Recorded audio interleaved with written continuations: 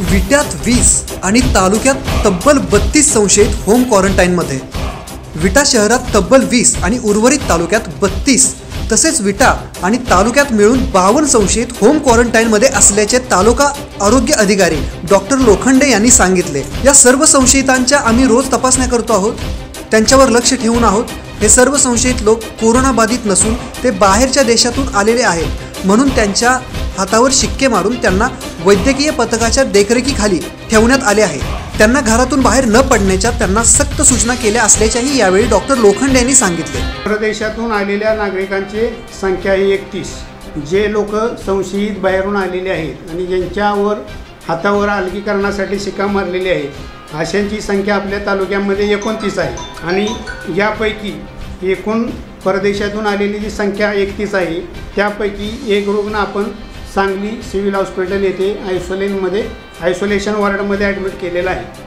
परदेशातून भ्रमण करून आलेल्या नागरिकांची संख्या खानापूर येथे तीन आहे.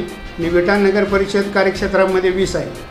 होम क्वारंटाईन खानापूर येथे आपण तीन केलेले आहेत आणि विटार नगर परिषद अंतर्गत वीस आहे.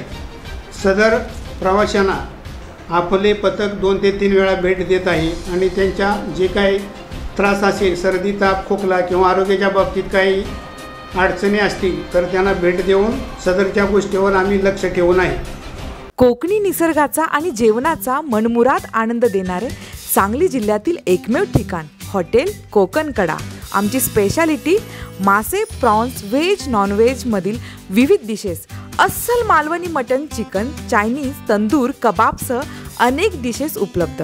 आमची वैशिष्ट्ये वाढदिवस सेलिब्रेशन साखरपुडा बारसे अशा शुभ कार्यांबरोबरच महिलांच्या भिशी स्कूल कॉलेज गेट टुगेदर व्यावसायिक मीटिंगसाठी कॉन्फरन्स हॉल प्रशस्त लॉन प्रशस्त पार्किंग लहान मुलांसाठी प्ले झोन फोटो सेल्फी घेण्यास मोहित करणारे स्थळ म्हणजेच हॉटेल कोकणकडा.